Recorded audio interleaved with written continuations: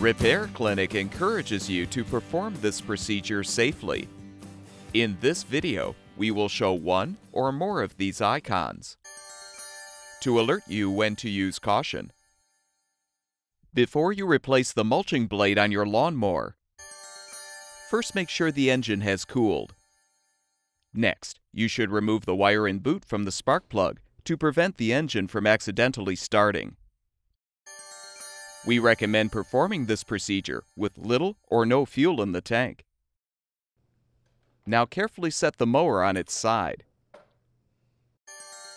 Use a wood block or a comparable sturdy object to hold the blade in place. Then use a 5 8 inch socket and strike it with a hammer to help loosen the mounting bolt.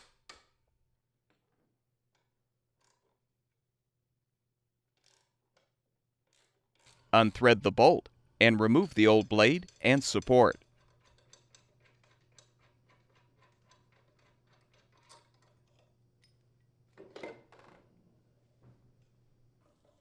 Install the new mulching blade by aligning it on the blade adapter with the sharp edge facing away from the mower deck. Reposition the blade support and rethread the mounting bolt. Use the wood block to hold the blade in place and torque the bolt to 42 foot-pounds.